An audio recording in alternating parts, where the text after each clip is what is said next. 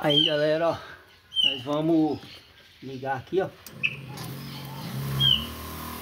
Ó, se ela não tá na potência máxima, tá? Então como eu ponho um detergente dentro para ela dar uma lavadinha, ó, ó na potência máxima, ó. Ó o trem. Encharca o chão, ó. Olha aqui pra vocês verem, Não tá na máxima ainda, ó. Só um pouquinho, tá?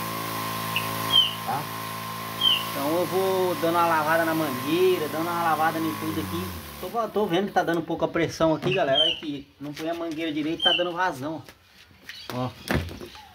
A mangueira não tá encaixada direito, ó. Isso aqui você tem que encaixar bem certinho. Porque senão ela vai dar vazão.